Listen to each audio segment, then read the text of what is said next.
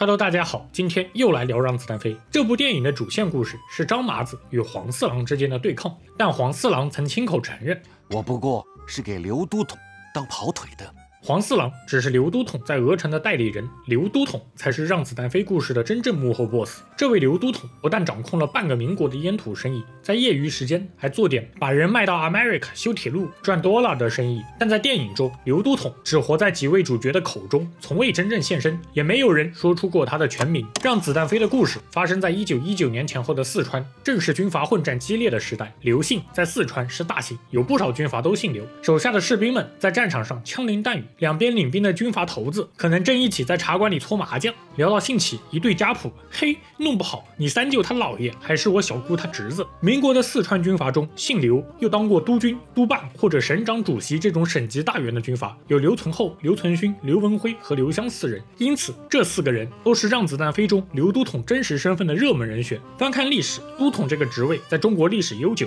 韦小宝、韦爵爷就当过骁骑营正黄旗都统。但民国建立后，北洋政府只在热和。察哈尔、绥远等几个北方地区保留过一段时间的都统职位，四川其实不会有都统这号人物。当时四川实行的是军民分治，军事领袖和民政领袖不是同一号人，这一点在《让子弹飞》中也有体现。电影中除了有刘都统外，还有个叫巴康泰的省主席。在真实的位面，一九一九年四川省省长是张南张表老，而名义上的军队领袖四川督军则是刘存厚。刘存厚虽然发家早，但衰落的也很快，鸦片生意和猪仔奴隶生意做的也没有后来者刘强大。因此，刘湘更像是黄四郎口中那个掌握了小半个民国烟土生意的刘都统。鉴于本系列的宗旨是不谈隐喻，借助电影讨论真实历史，因此为了多水一期视频，而不是为了更好、更全面的介绍民国年间四川军阀混战的情况，我决定不花时间去分析刘都统到底是谁，而是用两期视频分别介绍刘存厚与刘湘，通过他们来展示真实的刘都统们到底是什么样子的。希望大家多多三连，多多关注。光绪十年，也就是一八八五年，刘存厚出生在四川简简阳县。十八岁的时候，他考入四川武备学堂，随后因为成绩出色，被四川总督西凉送去了日本留学，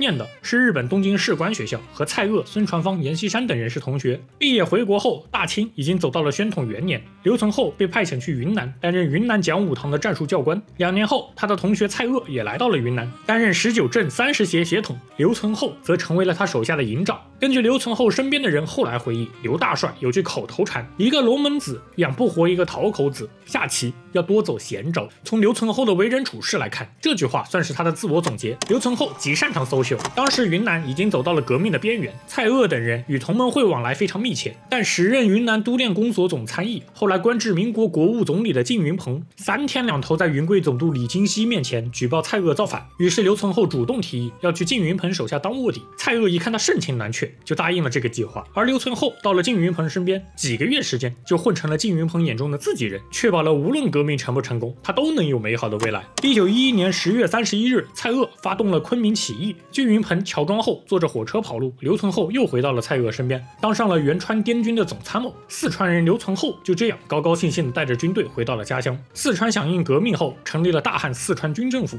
都督尹昌衡是刘存厚在四川武备学堂以及东京留学的同学，老乡加同学，关系铁上铁。当时川军一共有三镇，也就是三个师，为了招待老铁，尹昌衡又扩编出了。川军第四镇让刘存厚担任统治，刘存厚见此热泪盈眶，抓紧时间拍马屁，提议成立四川武备同学会，由尹昌衡担任会长，由他在日本的同学全川陆军军团长胡景一担任名誉会长。顺便拉拢几个在川军内担任军官，但从来没有在四川武备学堂上过学的袍哥领袖来当特别会员。后来胡锦一和尹昌衡争夺都督宝座，尹昌衡败落，被袁世凯囚禁在了南京。而刘存厚因为提前跟着胡锦一加入了共和党，外加与山西都督阎锡山、贵州都督唐继尧、江西都督李烈钧、段祺瑞的心腹山东都督靳云鹏等人关系极好，所以非但没受牵连，还被胡锦一保举，当上了陆军中将。在一九一三年孙中山发动的二次革命中，刘存厚曾。坚定地站在袁世凯这边，但到了一九一五年反对袁世凯称帝的护国战争期间，刘存厚一看势头不对，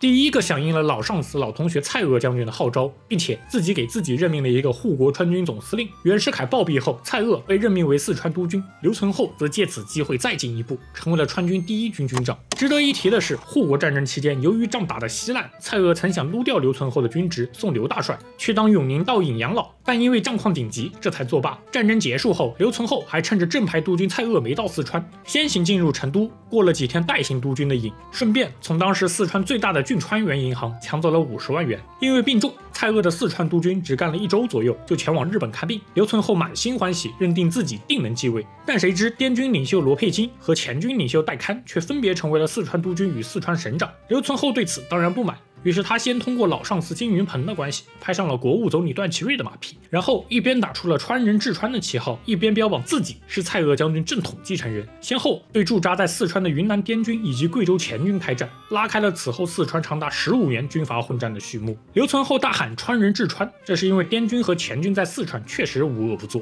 四川人民对他们恨之入骨。但川人刘存厚自己的做法，比起卑鄙的外乡人，完全是有过之而无不及。一九一七年四月十八日，刘存厚率先开火，抢了滇军一批武器弹药。滇军随后开始在成都皇城一带火烧民宅，号称是要亮城，防止川军利用民房伏击。刘存厚一看，哎，好家伙，做梦都没想到还有这种好事情呢！于是赶紧派了数百个士兵，伪装成滇军的样子，出去边放火边抢钱。当时成都狮子巷有个当铺，冲进去一伙川军，强行典当步枪，每支枪十个大洋。掌柜不肯，于是川军直接烧掉了当铺，然后抢光了库房。刘存厚与滇军开战，背后有黔军领袖戴堪的煽风点火。但滇军战败后，刘存厚转头向黔军开战，戴堪一败再败。中途还尝试过向滇军领袖罗佩金求援，显然是个没有丧失童真童趣的人。在孤立无援的情况下，戴堪只能主动投降，带着军队离开四川，然后在秦皇寺一带又被刘存厚伏击，最终戴堪饮弹自尽。一九一七年十二月，先后击败了滇军与黔军的刘存厚，被北洋政府任命为四川督。军四川善后督办崇威将军走到了自己的人生巅峰，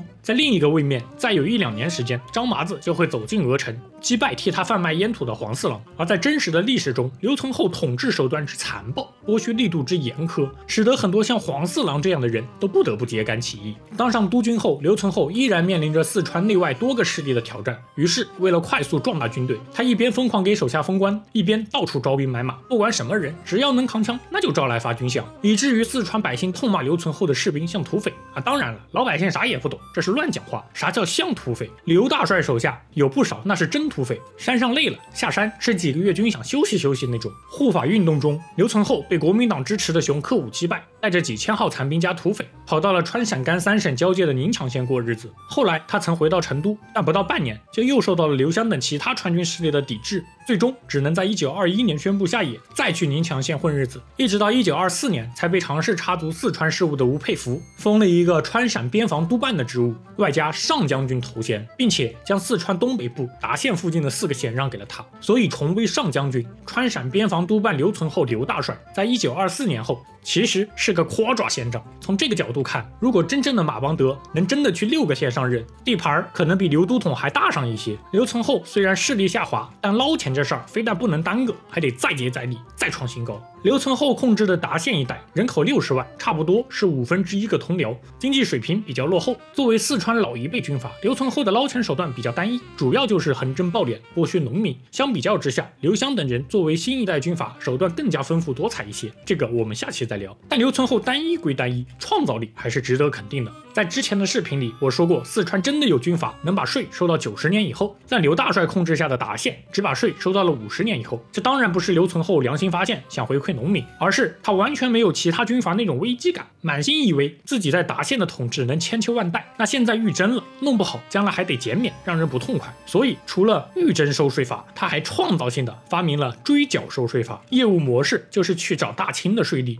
然后拿着大清的粮税册去追缴他来达县以前的税。显，然在刘大帅看来，所有百姓的存粮那都是他的欠粮，都得上交给他。死了也不行。如果有田地主人有幸死在了刘大帅来答谢前，那刘大帅还会去墓碑上找去世者的同族人来缴粮。人死账销这种事，刘大帅是不认的。当时四川民间说他前收二十年，后收五十年，就是说他往前追缴大清的钱，往后还提前收了新中国的税。在全四川军阀疯狂发明各种税的背景下，四川流行过一句俗语。自古未闻粪有税，而今只剩屁无捐。而在留存后置下，排泄物那也得收税。收集时有潲水捐，出城时再收城门卫生捐，到了乡下还有肥田捐，一单份能收两块大洋。清末达县地区各种钱粮税款总额大约是三万元，刘存厚来了以后，这个数字变成了两百万，人均交税三块大洋，超出同期其他军阀治下平均水平的两倍还多，玩命压榨穷鬼。除了是因为刘存厚要维持生活水准外，还因为刘大帅要努力维持自己的军队规模。他刚来达县时，手上残兵三四千，但很快军队就又扩张到了两个师，两万人。与此同时，就像前面说过的那样，刘存厚是一个体恤下情、关心手下、热衷封官的人。他当四川督军时候提拔的下属，这会儿还跟着的，那肯定不能降职。而现在他又成为了川陕边防督办，是崇威上将军，还得提拔更多人去给这些官职当下属。根据统计，一九二八年的时候，刘存厚军队里仅处长和营长以上的官员就有两百多人，相当于以四县之地赡养着一整个四川省政府。而在一九二八年之后，当初给了刘存厚督办和上将军头衔的吴佩孚，又被北伐军打败，跑路来了四川，与刘存厚相依为命。毕竟当时四川大部分军阀都换上了国民党的青天白日旗，只有刘存厚还坚持悬挂着北洋的五色旗，让吴佩孚非常心暖。于是，一个小小的达县，现在除了有一个崇威上将军刘存厚，又多了一个福威上将军吴佩孚。在之前我关于吴佩孚的视频里，我就提到过，吴大帅躲在四川，依然要维持自己的威风，不但搞了一个福威上将军行辕，还维持了一整套政府班子。这些成本有大部分也落在了达县百姓的头上。刘大帅的统治后期，农民已经是腹肥种地，